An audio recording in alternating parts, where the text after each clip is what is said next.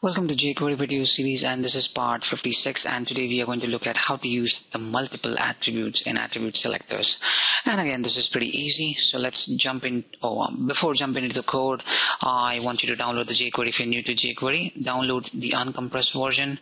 Simply put it into your project and then reference it uh, you know reference it in your head section like this. If you don't do it then your jQuery is not going to work. Next you're going to write uh, some JavaScript code by saying hey document dot ready which means once the document finishes loading I want some jQuery instruction to get executed right? So this is a regular thing we do all the time so now the time is to use the multiple attributes. So if I'm looking at this document I can see you know uh, now the anchor tag has one two and three attributes. So your boss comes in and your boss tells you that hey I want you to find the elements who has the attribute ID and attribute href lang as well then you're gonna say okay I get it so you want me to look at the elements who has the ID as an attribute and you also want me to look at the elements who has the href lang as well so your boss says yes.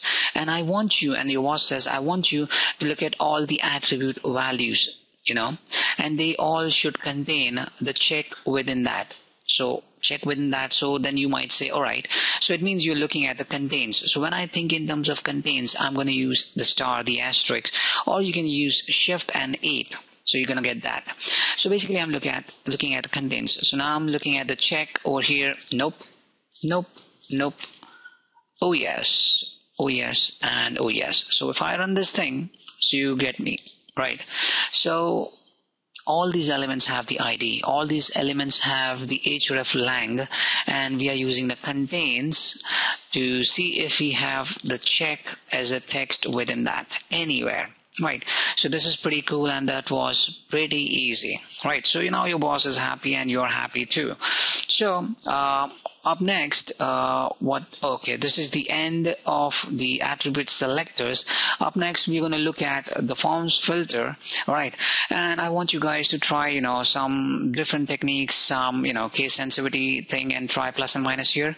If you guys run into any problems then please let me know via comments. I'll be happy to help.